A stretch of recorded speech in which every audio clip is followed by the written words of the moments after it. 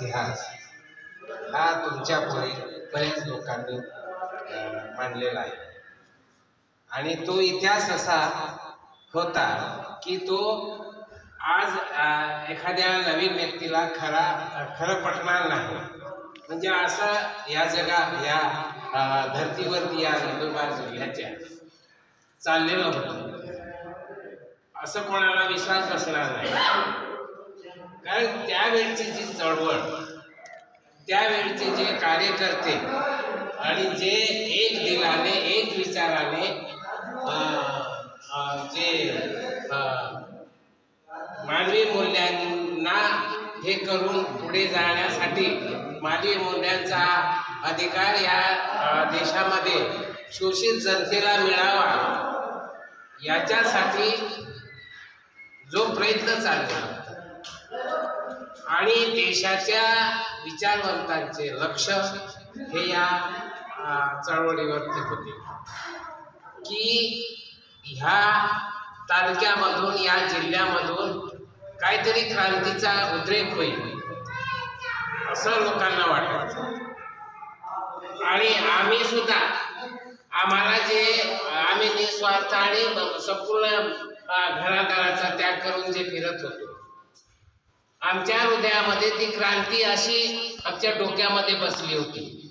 आणि मी तर अगदी कुठल्याही मिटिंगच्या भाषणामध्ये ज्या वेळेस उभा राहत होतो त्यावेळेस माझं एकच गाणं होतं.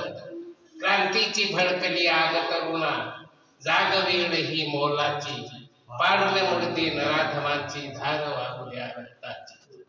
असं सुरुवात केलं. म्हणजे आम्ही दर वर्षाला जे आठवण दिवस साजरे करतो प्रेरणा दिवस साजरे करतो व्यवस्थेच्या विरोधामध्ये लढणारे जे क्रांतीवीर होऊन गेले सगळ्यांची आठवण करत असतो आम्ही. पण मगाशी अनेक लोकांनी सांगितलं एक दिवस आठवण करून चालणार नाही. आम्हाला वर्षभरासाठी आम आमच्याकडे कार्यक्रम असला पाहिजे. आणि तोही वेगवेगळ्या मोत्यांना घेऊन वेगवेगळ्या समूहामध्ये श्रीमुक्तीचे मुद्दे असतील शोषणाचे मुद्दे असतील आरोग्याचे असतील शिक्षणाचे असतील असे अनेक वेगवेगळे मुद्दे असतील. त्यांना घेऊन वर्षभरासाठी काम करणं हे अत्यंत आजच्या परिस्थितीला गरजेचं आहे असं मला वाटतं.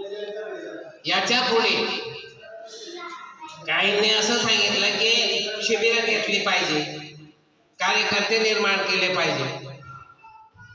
म्हणजे जे व्यवस्थेच्या विरोधामध्ये ज्या लोकांनी आपल्याला विचार दिलेले आहे त्या विचारांना धरून पुढे ती चळवळ वाढली पाहिजे मोठी झाली पाहिजे आणि हे व्यवस्थेला या भांडवली व्यवस्थेला खतम करून इथं जसं भावने सांगितलं कॉम्रेड नाव माहीत नाही. प्रशांत.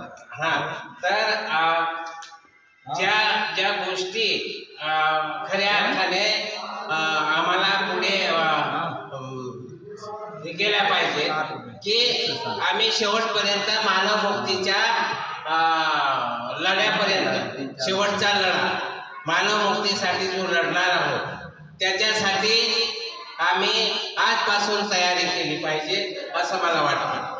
कारण की आदिवासी एकता परिषद जे ब्याण्णव त्र्याण्णवला जी झाली त्याच्यामध्ये सुद्धा महानुभाव बरोबर चर्चा करत असताना आम्ही मानवमुक्तीचाच मुद्दा घेऊन शोषण शोषणमुक्ती मानवमुक्ती स्त्रीमुक्ती अन्याय अत्याचाराला विरोध ह्या गोष्टी त्या एकता परिषदेमध्ये समाविष्ट करून आदिवासींना कसं एकत्र करता येईल?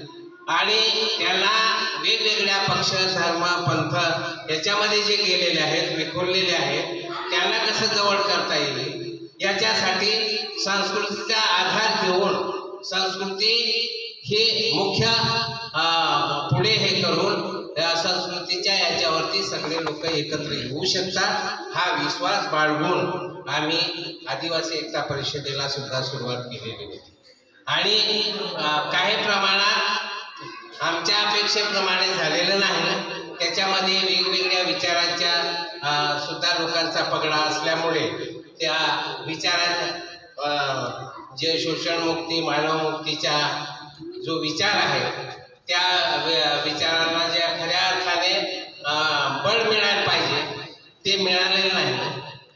आणि म्हणून मी काय म्हणतो की ह्या सगळ्या गोष्टी साध्य करत असताना नवीन माणसं नवीन विचार नवीन चळवळ निर्माण करण्यासाठी म्हणून ज्या लोकांनी आज या ठिकाणी चर्चा केली ते मला तंतोतंत पडतं परंतु हे करत असताना माणसाने स्वतःला निस्वार्थी आणि त्याग करण्याची भावना ठेवली पाहिजे. तरच शक्य आहे. नाहीतर आज व्यक्तिगत स्वार्थासाठी काम करणारे अनेक लोक आहेत.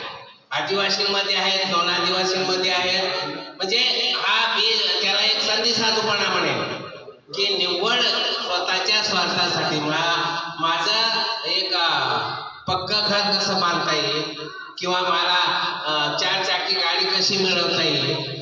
अशा अर्थाने आम्ही जर काम करू काय एक विशिष्ट लक्ष हे करून भांडवली विचारांना आपल्या याच्यामध्ये ठेवू तर ते शक्य नाही.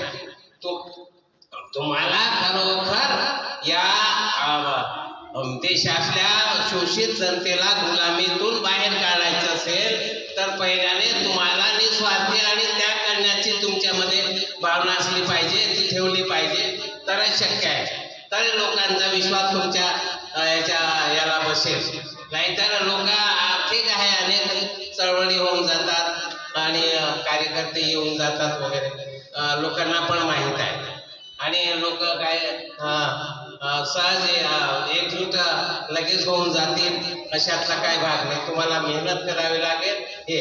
पण त्याच्यासाठी आता बाकीच्यांनी कामरेडांनी जे शेतकरी आंदोलनाचा प्रश्न निर्माण केला तसंच मी